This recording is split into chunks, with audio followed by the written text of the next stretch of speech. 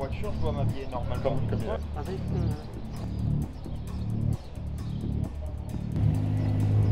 Deux pilotes en place